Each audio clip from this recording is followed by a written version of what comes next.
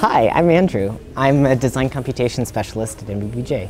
Design computation is basically the application of computer programming to architecture. I plug together boxes and wires and each one does something. Taken all together, they can be recombined in a bunch of different ways to do all kinds of different things. A client will often want a perfect view from every space, every office in a building.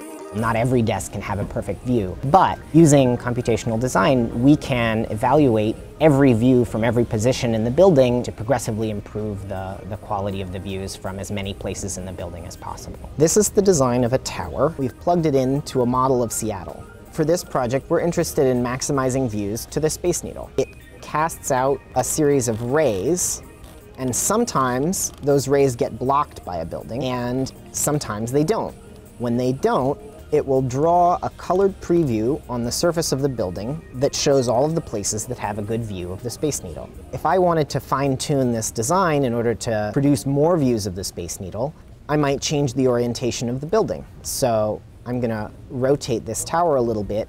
Now I can see that by changing the orientation of the building, I get views all the way on this side as well. I can study a single view, but I can also look at other views that might be interesting. I can zoom out a little bit and take a look at the broader context of Seattle. Views of Puget Sound and of Lake Union. Areas that have some red have views of Lake Union. Areas that have some blue have views of Puget Sound. And I can see that some areas of the tower, right at the top, have views of all three things. With tools like this one, we can improve design so that as many people as possible across an entire building will have great views from their desk.